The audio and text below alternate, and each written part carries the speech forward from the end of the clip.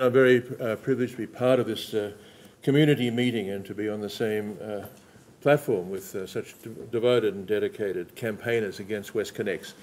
I'm here to report upon a, a year-long project that I've done with my colleagues and uh, graduate students in the Urban Development Design Program at the University of New South Wales. We call this uh, Metro WestConnex, Redefine, Reinvent, Restructure, Redefine WestConnex, Reinvent a Sustainable Mode of Travel, restructure Sydney's transit network. Of course, we are struck by the complete folly of this project. The very idea of having uh, freeways converging on the centre of the city has been proved to be dysfunctional in cities around the world. It's astonishing to see such a proposition emerging in 21st century Sydney. And as cities have demonstrated time and time again, more roads induce more traffic. And what is needed, of course, is a deeper understanding of the changes that are happening at this time, as I'll come to at the end of my presentation, but also, of course, a thorough commitment to adequate and, and, uh, public transport. We've been talking so far about WestConnex as perhaps most people know it, stage one and stage two, as Jenny was referring to, and stage three, an EIS still to be released this year, but as the wonderful activist and urbanist from New York in the 1960s, Jane Jacobs, stated, a city expressway program is never finished. It is rather like getting hooked on an addictive drug. And so, therefore, uh, the continuation of this project, which of course has been announced by Premier Berejiklian, is to build more roads with the uh, Western, West Harbour Tunnel, tunnelling under Balmain and, uh, under, another tunnel under the harbour, and then the so-called Beaches Link, which is uh, being uh, promoted for one of the current by-elections underway. Uh, so that's another $20 billion, everybody, uh, on top of the 16 billion or 16.8 that uh, Jenny was uh, outlining earlier. We propose a different approach. Sadly, so much of the WestConnex project is committed, it would seem, and tunnelling has started.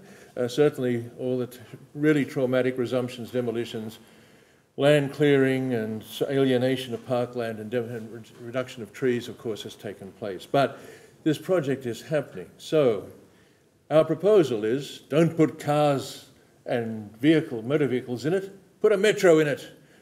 So turn it into a proper rail system instead. And uh, that was the proposition that we put forward. This government has actually come up with um, a bad metro design coming from Cudgegong Road beyond Rouse Hill into the city, and then on to Bankstown. It's got a bad motorway design that we're fully aware of, and of course a bad light rail design as well. So instead of having uh, a proper transport system for which this city really needs, which is an integrated system of metro lines, we've got the worst of all possible worlds uh, happening at great expense right now. So our proposition was to convert the M4 and the M5 proposals into metro lines, link them and link them through the city.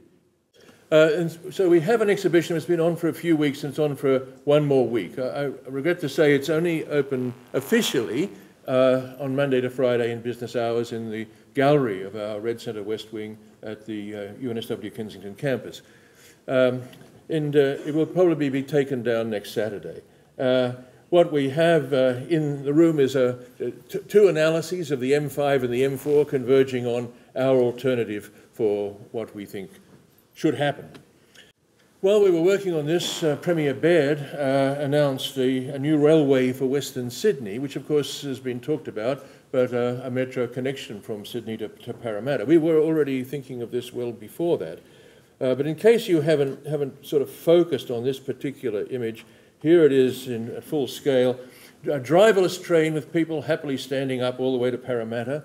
Uh, not as bad as standing up all the way from Cudgegong Road into the city, but nevertheless an efficient, union-free transport system that would nevertheless be rapid and effective and a powerful alternative to, of course, uh, our current transport systems. And uh, certainly far, far better than more roads and more cars and more traffic. So that is our proposition. We think that, the, of course, the link between the M5 and the M4 must never happen. And whether there's any chance to stop it, I fully support Jenny Leong's uh, call today. But that is, uh, that's the one thing that must be stopped at this point. And because it can only ever uh, be resolved with more, more roads uh, across to the north side and, and so on, another $20 billion. Now, we also then looked at what could be done to the devastated communities along the way.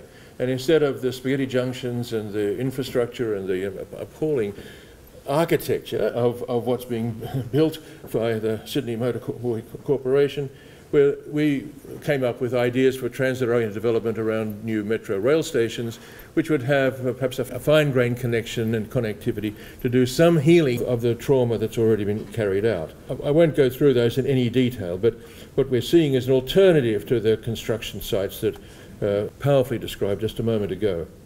So we've looked along the M4 alignment all the way out beyond Strathfield, where the, the, metro line would run along the middle of the motorway, as they do in American cities, but with uh, very powerful opportunities for air rights developments over them to heal both sides of the existing severed communities of the, created by the M4 in the past. And then we similarly looked at the M5 coming up from Kingsgrove all, all the way to Mascot and so on, uh, with a similar set of investigations, which I won't uh, put before you this evening. And then all our students worked on this for several studios, and 200,000 people could be accommodated in new, fine-grained, interesting, mixed-use developments instead of spaghetti road intersections and uh, devastated uh, communities and, of course, traffic converging on the centre city. So we advocate a more integrated system. It, it, the WestConnex is not going to solve congestion. It'll move congestion from point A to point B. The way to really solve the problems of Sydney, arguably perhaps to build a second uh, Sydney airport, where so we have two airports instead of one uh, with all the focus on logistics and transport movements that that entails. Port Botany, clearly all containers should be moved out of Port Botany by rail to intermodal transfer points on the periphery of the city. Possibly, uh, user pays charges on a wider basis uh, across the metropolitan area is a possibility. But the greatest change of all is the technology that everybody has. That is the new ways of communicating and the potential of car sharing. At a conservative estimate, about 5.2 million empty car seats on the roads of Sydney every day. And we now have the means to connect with each other and have a much more efficient use of those cars. Interestingly enough, the head of Transurban was speaking at a financial review uh, seminar the other day. He's all in favour, of course, of uh, easing congestion so more cars can go through the tunnels for the increasing tolls. But he also lets slip something else, I think, where he's saying We've got intelligent transport systems, mobility as a service, and other technologies that are combining now in different ways to fundamentally change how we use and fund transport. We have autonomous vehicles, integrated transport, apps, ride sharing. Thanks to technology, we're at the tipping point redefining mobility. So, this is of the past. It was already clearly of the past in the 1950s and 1960s when cities around the world suffered from these uh, freeways coming through their centres. But this is unbelievably of the past in the days of digital technologies and smart city uh, possibilities. And so all the terrible grief that communities have suffered individually and, as, uh, and, and, and, and, and in their neighbourhoods has been completely and totally unnecessary and is an unbelievable cost that's been imposed upon the citizens of New South Wales in general. And what is needed is a much more intelligent and integrated public transport system instead of WestConnex. Thank you.